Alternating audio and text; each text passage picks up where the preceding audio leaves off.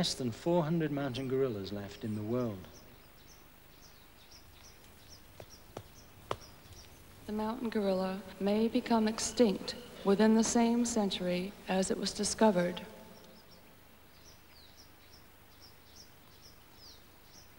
The future of the mountain gorilla is contingent upon the whims of man.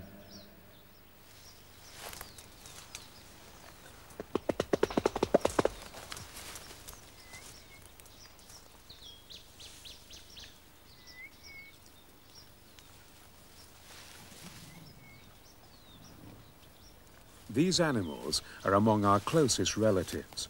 Their relationships are, in their way, as intricate as ours, and their family groups have strict hierarchies.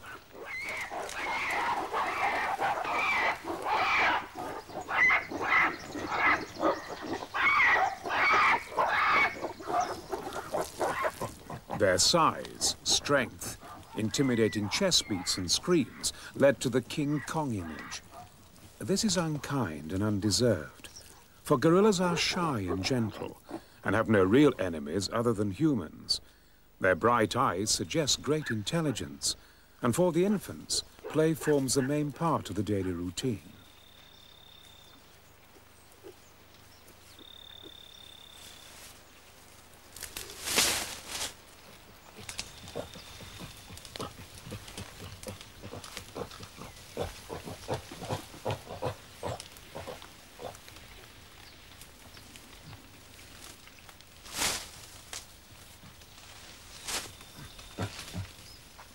This is not the lowland gorilla, which lives in the rainforests of West and Central Africa and number in the thousands.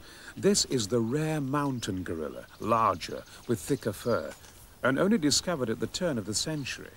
There may never have been thousands of these gorillas. Their range is too limited. But at the last count, there were fewer than 400 left. Perhaps half as many as there were a decade ago, and now showing all the typical danger signs of a dwindling population. Unlike chimpanzees, the other African ape, gorillas are almost completely vegetarian. They appear to lead a life of leisure in a luxuriant paradise, a salad bowl where they need only to stretch out an arm to reach something succulent to eat.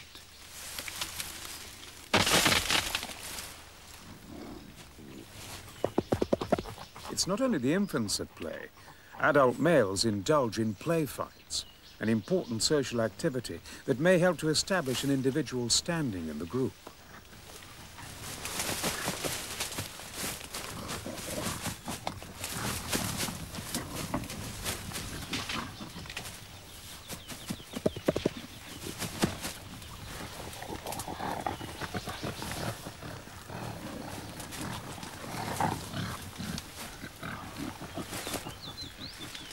The silverback male the leader of this group finally gets the better of the younger blackback male and reinforces his dominant status.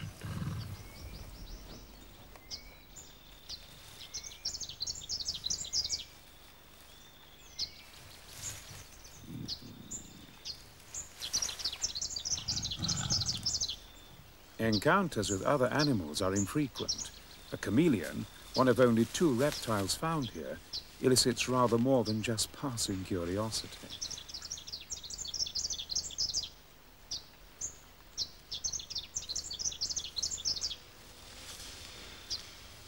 Mountain gorillas inhabit the Virungas, a chain of six inactive volcanoes in the heart of equatorial Africa, at the point where Rwanda, Zaire and Uganda meet. Their conservation area is tiny, some 25 miles long by perhaps 8 miles wide, with another smaller area in Uganda, separate from the rest.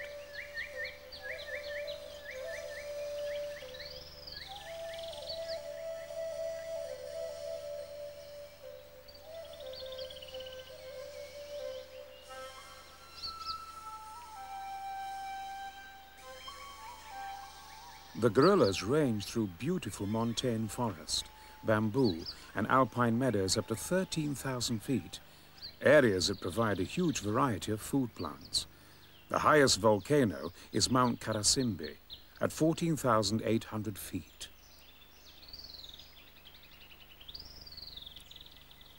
Serious study of mountain gorillas didn't begin until 1960, when George Schaller logged up nearly 460 hours of observation. Then in 1967, Dian Fossey started an eventful 19 years of work. At first, she was at Kabara in Zaire, and later she set up a research station in the Parc de Volcans in Rwanda, in the saddle area between volcanoes Karisimbi and Bisoke. Putting these words together, to create the name Karisoke for her camp.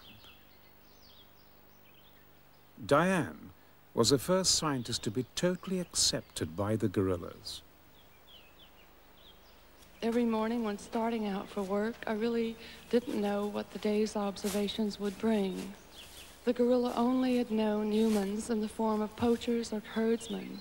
Therefore, it was easy to understand their initial fear and apprehension when I first sought to make contacts with them. These days were a bit frustrating. Finally, I was rewarded by a different type of response.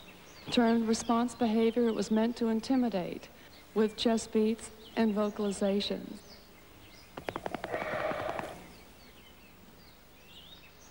Slowly, over the years, all the animals of Group 4 were approaching very closely, simply because of their own initiative and the sense of curiosity.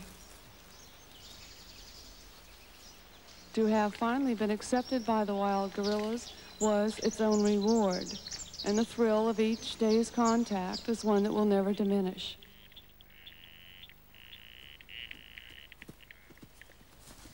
It was a young male gorilla she called Peanuts, who one day had enough confidence to reach out and touch her outstretched hand an incredible moment. The first ever peaceable contact with a wild gorilla, and an experience Dian never forgot. At Karisoke, she had to come to terms with solitude in rugged surroundings, sharing the trees and meadows with the animals that freely wandered around her camp.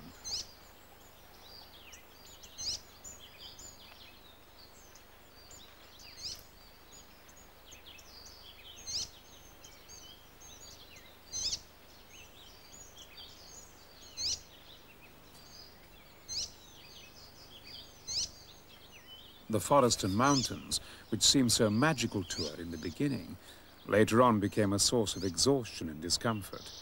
Ill health plagued her for the last few years of her work, and days, weeks, even months passed by without any visits to the gorillas that she loved. Just behind her cabin, she made a graveyard for the gorillas that either died of natural causes or were killed by poachers.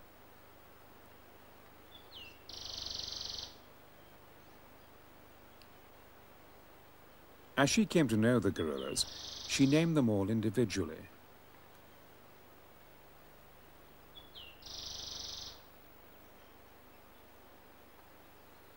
Over Christmas 1985, Dian herself suffered a violent death. Her body was laid to rest alongside those of Mwelu and Digit.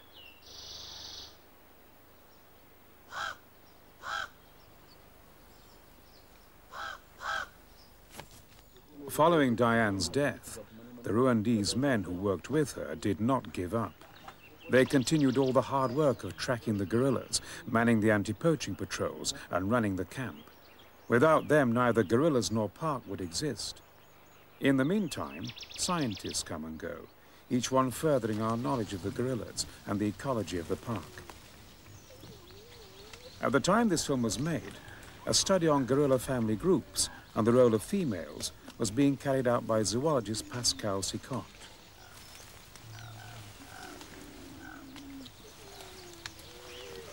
This is one of my study group. It is unusually large. It contains 25 individuals.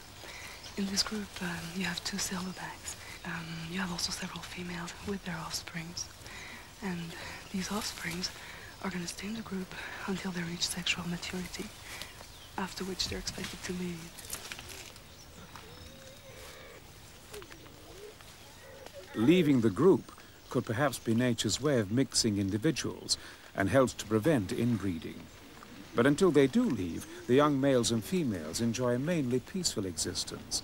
with very close, often tender relationships with their parents and other members of the group, spending their time during rest periods in play and grooming each other.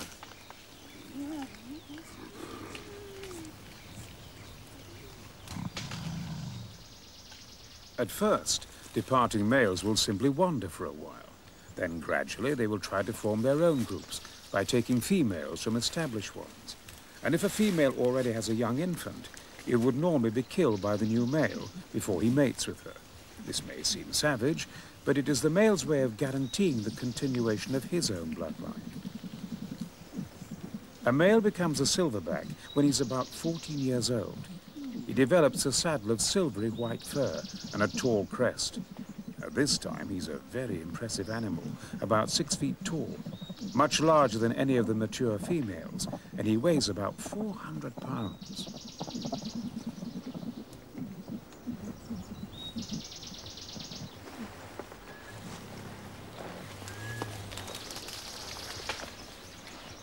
Gorillas feed on more than 50 kinds of plant.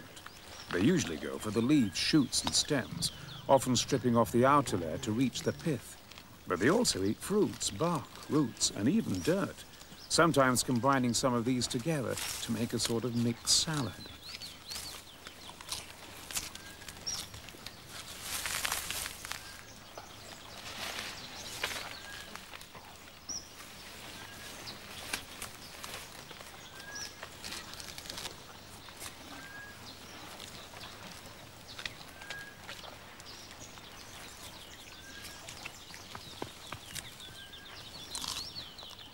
Goosegrass, nettles, thistle. To a human, many of their food items are bitter or astringent.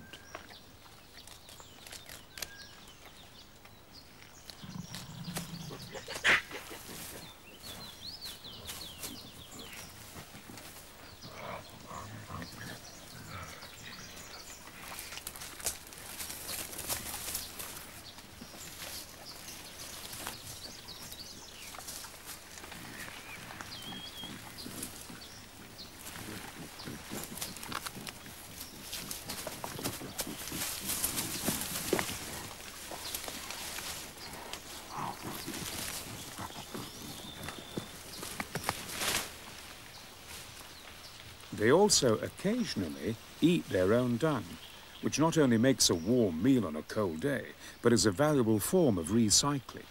And one further source of food is devoured with gusto. Though gorillas have been known to look for grubs and snails, only rarely have they been seen eating ants.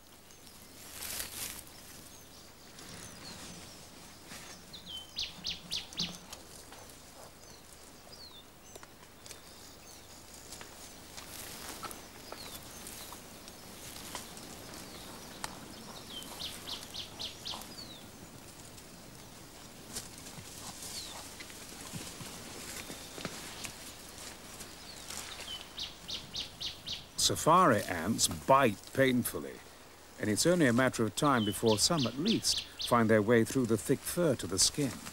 Then it's all a gorilla can do to grab a handful of the delicacy and run.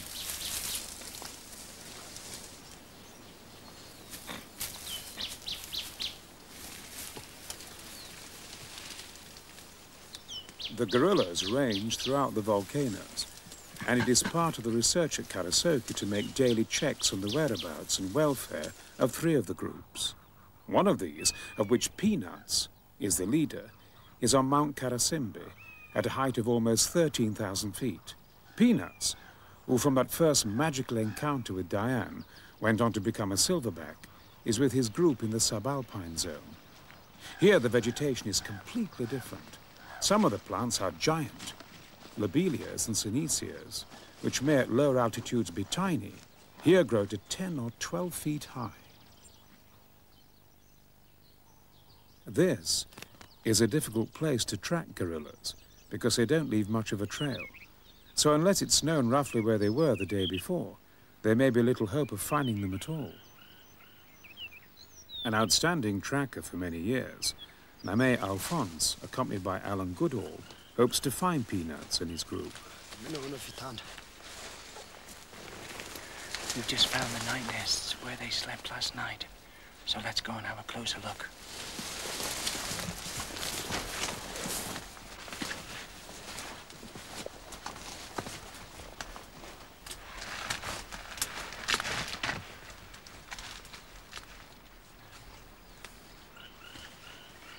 Seem a strange habit, but gorillas always defecate inside their nests. I'm not sure whose nest this is, but judging by some of the hairs here, it looks as though it could be the nest of a silverback. All we've got to do now is find today's trail and follow that to where they are. To Tigendi. Normally, from the night nests, there's a trail of broken plant material and fresh dung leading to the gorillas. But if they don't want to be seen, they can blend silently into the vegetation.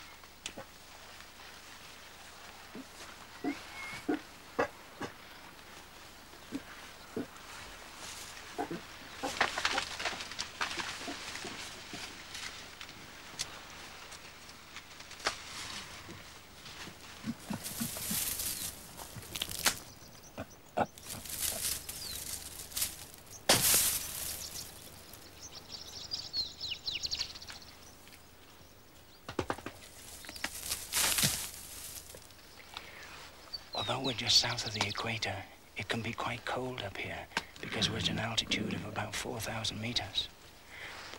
It's a popular misconception that the gorillas have been forced up into these higher altitudes by human pressure from down below. But actually, they've evolved up here in these mountains and are very well adapted. Their coats, their hairs are much thicker than those of lowland gorillas. They come up here to feed on the giant senecio vegetation and the giant lobelias.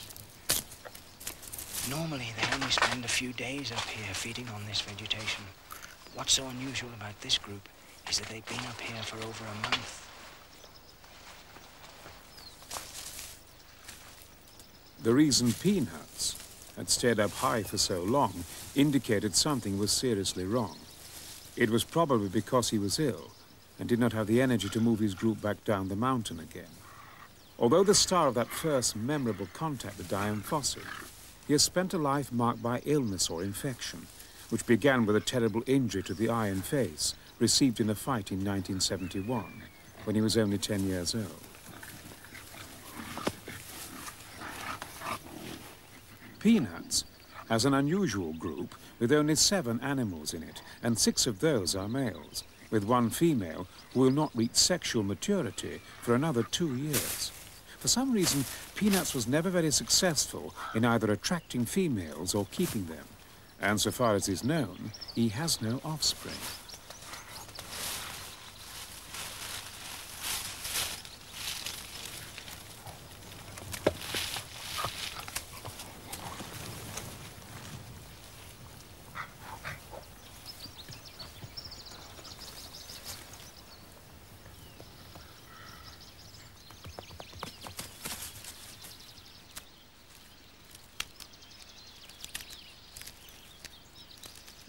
Normally, gorilla groups move frequently enough to avoid serious impact on any one patch of vegetation.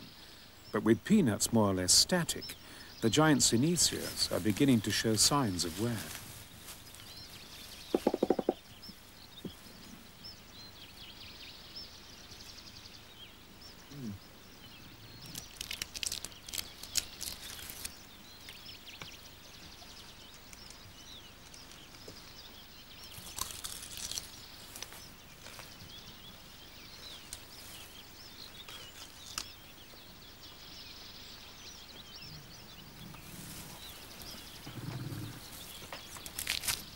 These plants are very old and regenerate slowly.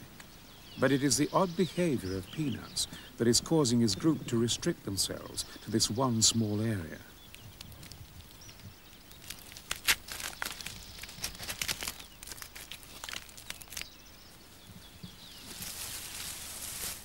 Although all the gorilla groups range through different zones, Some show a preference for certain food plants. Two of the regularly contacted groups spend much of their time near the border of the park and have been known to wander outside its boundaries. Managing the conservation area includes an important plan to build a fence to keep animals in and people out. It is a huge, ambitious undertaking, and one which will only succeed through the dedication of the Rwandan conservator, Canisius Charambere, and of the Mountain Gorilla Project headed by Craig Sholley. Le bon travail ici avec la clôture. Et tout le monde connaît que nous avons le problème avec les groupes 9 et le groupe 13 qui se trouvent juste à côté du parc. Et je voudrais savoir si nous pouvons continuer le travail de la clôture avec les gens de la région. Ça, on va pouvoir continuer parce que, vous voyez, la clôture n'est pas très solide. Hein? On va pouvoir continuer à renouveler tout le temps. Très bien, magnifique. OK, on va discuter autre problème. The fence prevents gorillas and other animals such as buffalo from damaging crops. And it also deters people from entering the park to cut firewood or to poach antelope. Rwanda is densely populated, so there is great pressure on the land, particularly here near the volcanoes, where the soil is so rich. Many of these local people may never see the gorillas that live on their doorsteps, and it's difficult to know how to convince them that they should not use the park's land to grow the crops they need to feed their families. How can they understand why the gorillas should have so much land when they have so little? And explanations are not made easier by the presence of the foreign-owned pyrethrum plantation that took four-tenths of parkland for the production of insecticides. Yet in spite of all that, many Rwandese do believe in their park and have on occasion responded generously in their support of its conservation. And the policy of the government is to conserve all the national parks.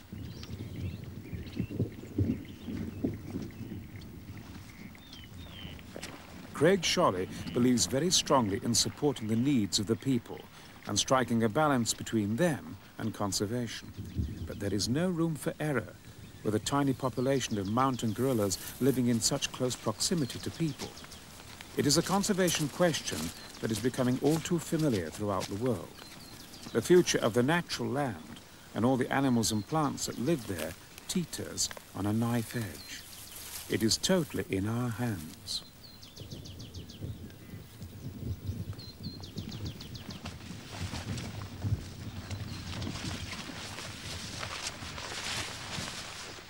This particular part of the forest is an interesting place. Four years ago, there were cattle grazing here. It was part of a cattle project used by the Rwandan government. A year before that, there were gorillas ranging here. Realizing the importance of the forest to the gorillas, we convinced the local community to donate the land back to the park.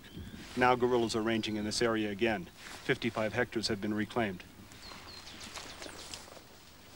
Such positive conservation steps offer a glimmer of hope for the remaining 400 or so mountain gorillas. The bamboo that was cut will regenerate. More bamboo, more bamboo shoots. For some groups, a favorite food.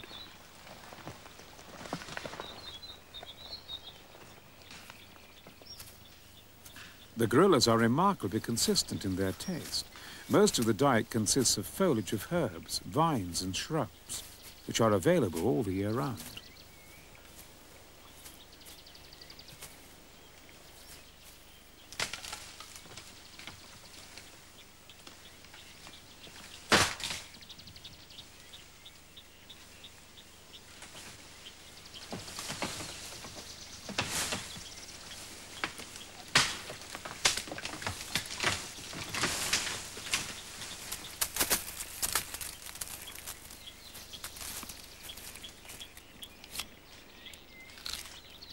Of all the important food plants, only bamboo shoots are seasonal. But when they are available, the gorillas gorge themselves.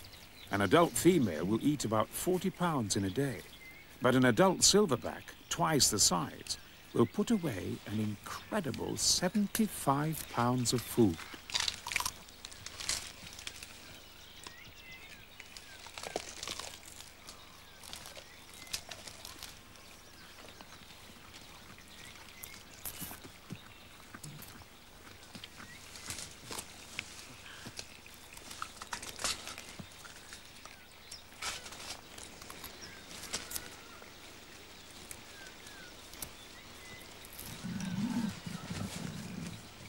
Is no wonder that gorillas have pot bellies and occasional digestive problems.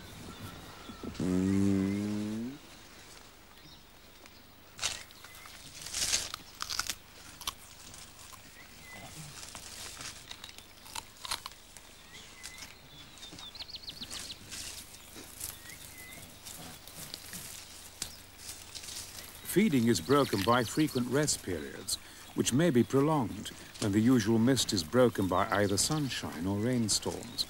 This is a good time for socializing.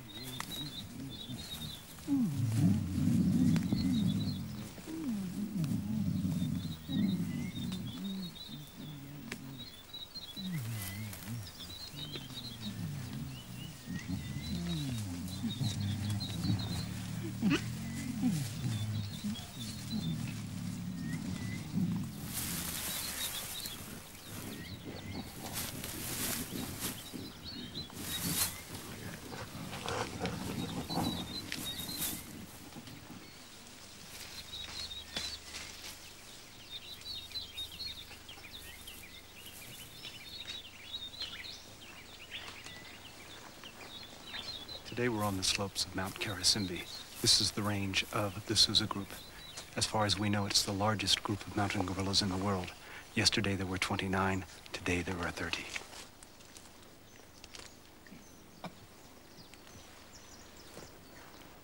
In all the years that people have been studying mountain gorillas, no one has ever fully observed a birth.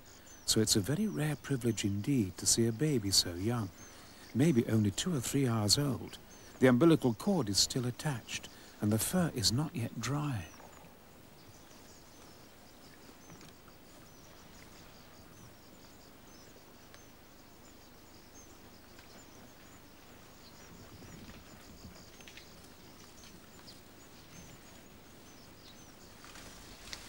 The birth of this new baby came as quite a surprise to me this morning. In addition to this female, there are several other females in the group that may be potentially pregnant. Also, there are two large adult silverbacks, both of whom share leadership responsibilities. But in the future, there may be a dilemma. Because of that, the group may split. We sit back and wait and watch the dynamics of the group and wonder what will happen.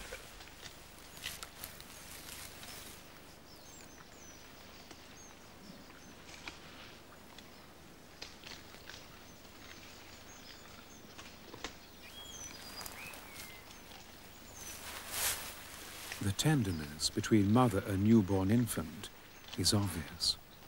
It is not her first baby. She is experienced and quite high-ranking in the group.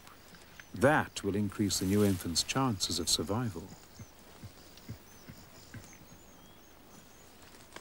At least a third of all babies die within the first few months of their lives because of weakness or disease. A first-time mother can lose her baby by not being able to produce enough milk. Happily, though, there is no such problem for this one.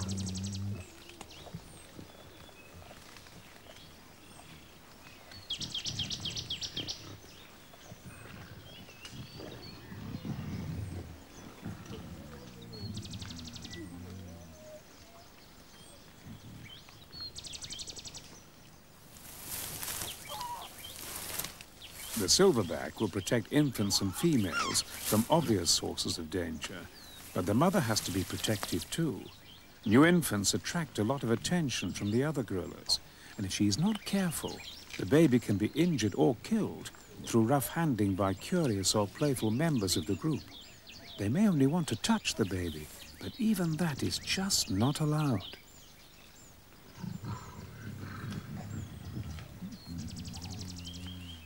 An adolescent wanting to play can be very persistent and may not realize his own strength.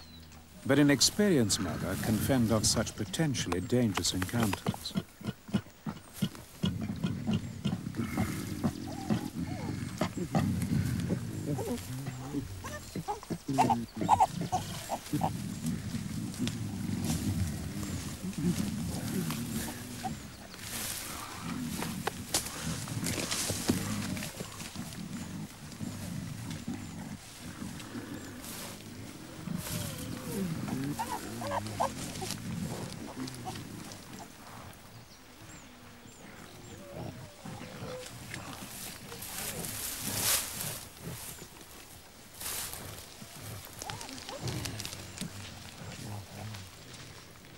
Observations by researchers suggest that most new mountain gorilla babies are males, but it is extremely difficult to be sure when working in the field.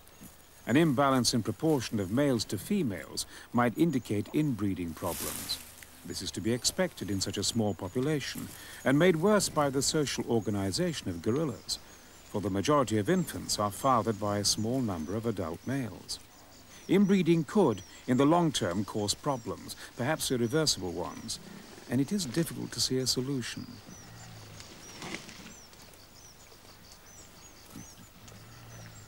In a world already loaded against them, visits to the bamboo zone near the park border can be extremely hazardous.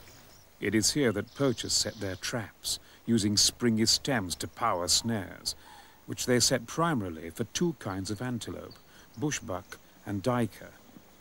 To help the gorillas, experienced anti-poaching teams run daily patrols through the forest.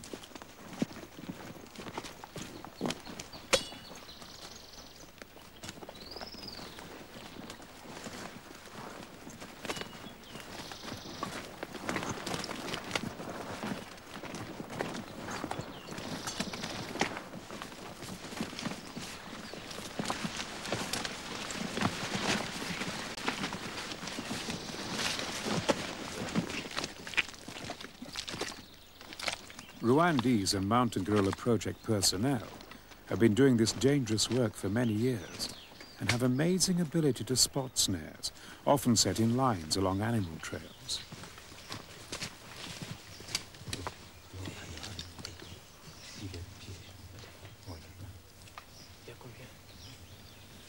Est-ce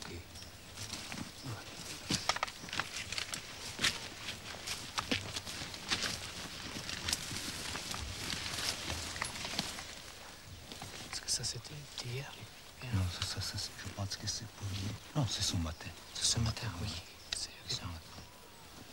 Ok. On va le couper. On va chercher des autres coupés. Until 1984, gorillas were killed by poachers to service a macabre tourist trade in gorilla parts, hands for ashtrays and heads as souvenirs. But even though that has been stopped, the gorillas still suffer. In 1988 alone, patrols found and cut 2,600 antelope traps. Gorillas have been removed from snares, treated, and some survive. But a snare inflicts a terrible wound. It can cost a gorilla a hand, and death may follow if gangrene takes hold.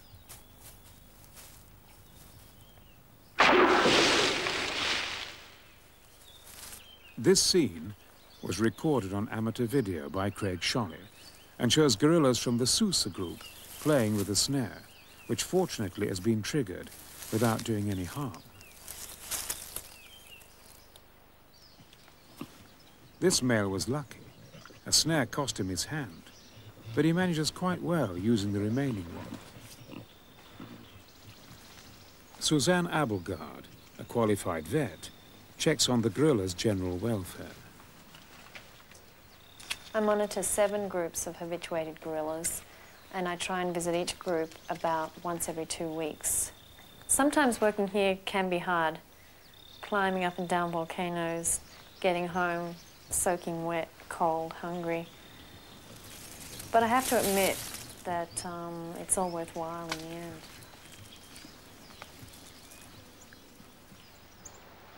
The work is rewarding, but inevitably there are depressing days when tragedy strikes.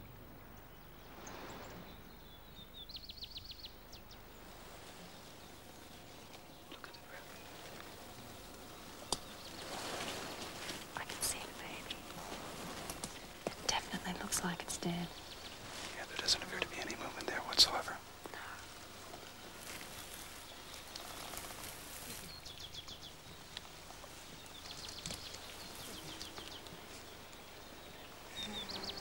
But she's still holding it in a pretty normal position.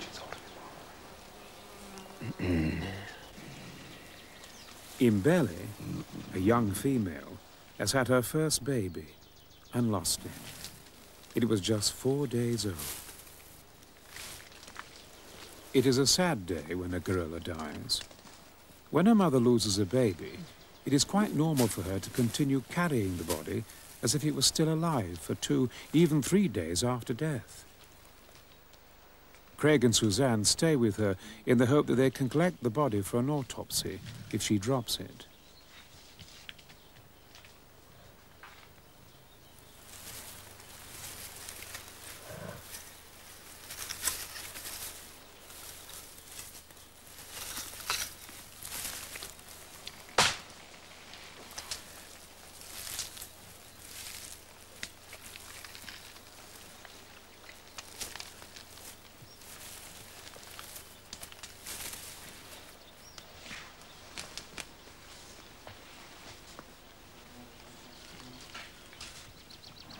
As time passes, Imbelli puts down the body of her baby more and more frequently.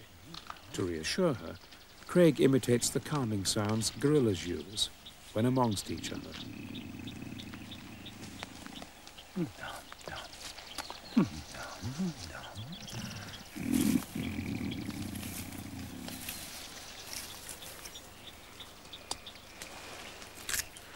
She seems to be feeding now, so maybe we should just stay back a bit and not push her too much. I would agree.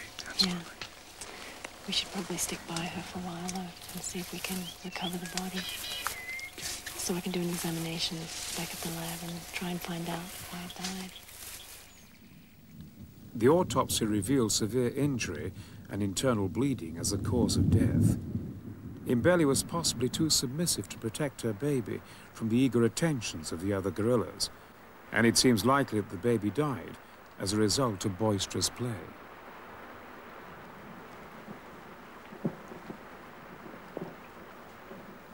In heavy rainfall, which is frequent, the gorillas stop feeding. The adults sit motionless, but for the infants, there is time to play.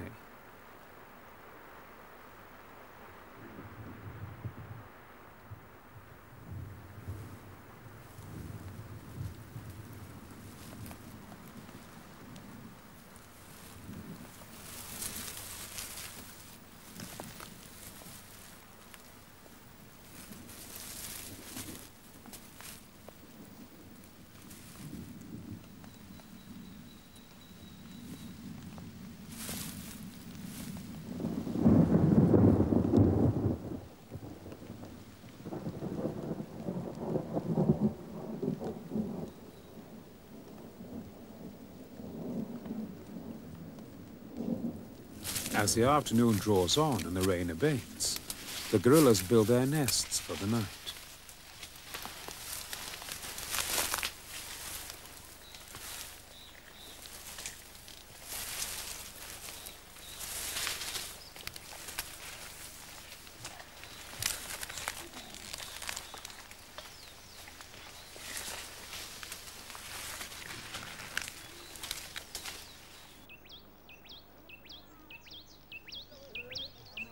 And as dusk falls outside the park, local villagers gather in a square to see a film about gorillas, part of the conservation education program organized by the Mountain Gorilla Project and the U.S. Peace Corps.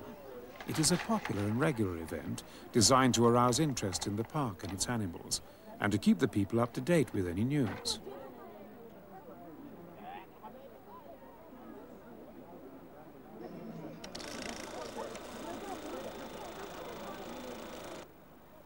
The film showings have been very successful in promoting conservation, and there has been a steady increase in the number of Rwandese who believe there is a benefit in keeping the park.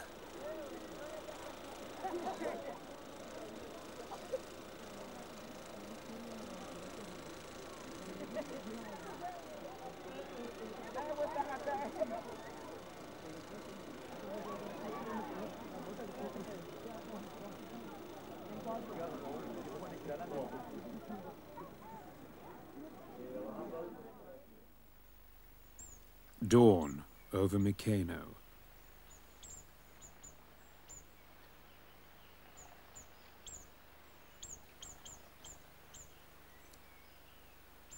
At the edge of the park, a group of six tourists assembles. We just have some simple instructions for you for uh, simple behavior in the forest and also behavioral things with the gorillas. right here is the limit of the, the, the park and the forest. Um, once we go into the forest, we ask you to talk softly.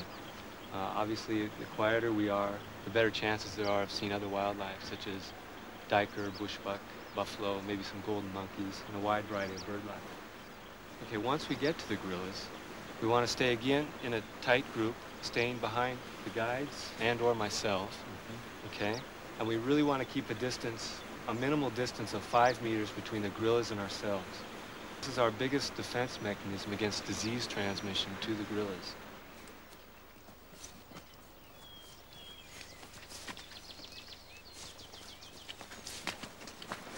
The gorillas are closely enough related to us that, uh, that they're very susceptible to human diseases, but yet they are not at all resistant.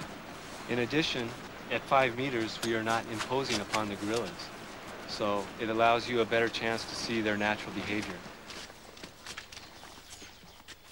The tourists spend only one hour with the gorillas, but there's rarely any disappointment.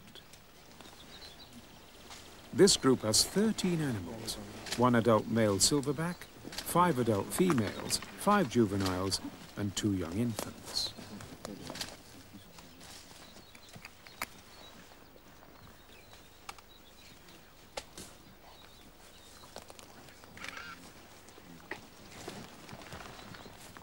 The tourists are helping the gorillas.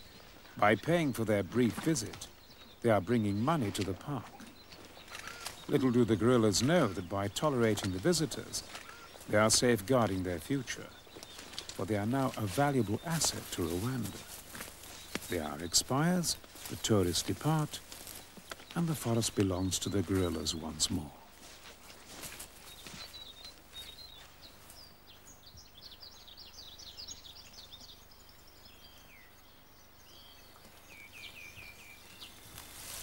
The unanswerable question is, how far can conservation management be taken?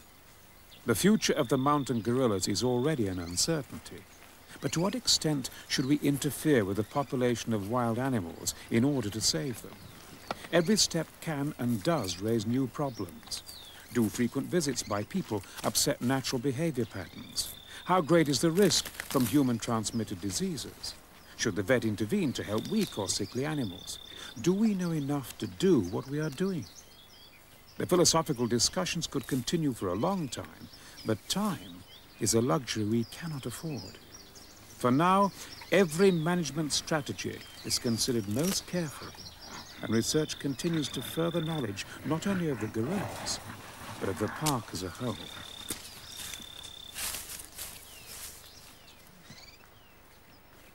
Andrew Plumptre is a research biologist based at Karisoke. His project is to study five of the herbivores in the park. He monitors their impact on food plants to find out how much competition there is, especially with the gorillas.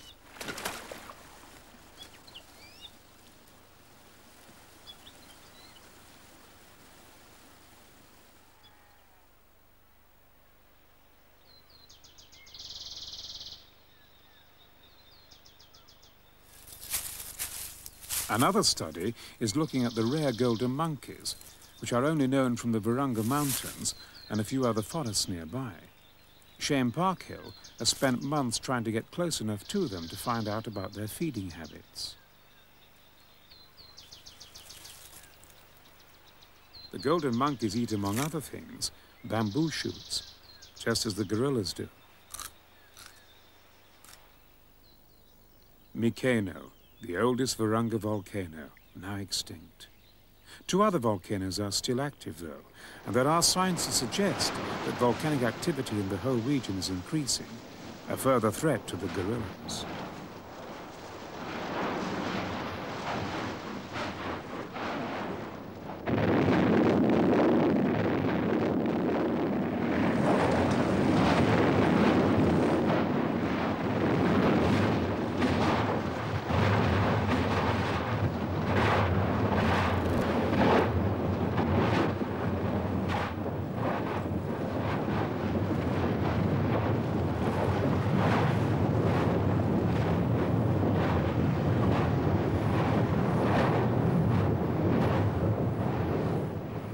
This is a new cone named Kimanura on the flanks of active Nyamulagira in adjacent Zaire. It erupted in May 1989, and the previous major eruption in the area was only two years before. No gorillas live here. In fact, the new eruptions are separated from the park by a narrow strip of cultivation and settlements. An eruption inside gorilla territory could, in the short term, devastate their population. In the long term, the eruptions on Nyamulagira and nearby Nyiragongo would theoretically increase the natural area. But for now, the park exists as an island in an ocean of human settlement. In many parts of Africa, and indeed the world, the story is a familiar one, dwindling animal populations in natural areas that become smaller year by year. The pressures are obvious. The options for local people are to starve now if they do not exploit the conservation area, or to starve in a few years' time if they do. Happily, Rwanda is not yet in such dire straits, although the population, already the densest in Africa, is still increasing fast. With 95% of the people living by agriculture, immense demands are placed on land, and this problem can only increase as time goes on. Somehow we must find a solution to the benefit of all, a balance between humans and wildlife.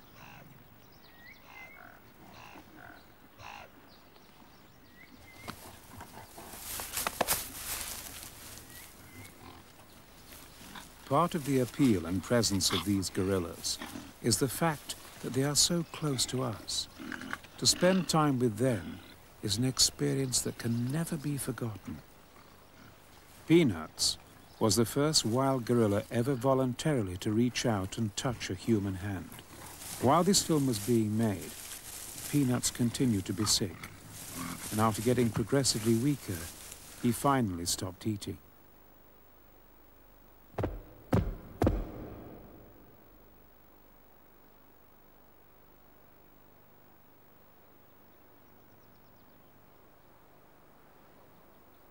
On the 1st of May, after several days of not moving from his night nest, he died.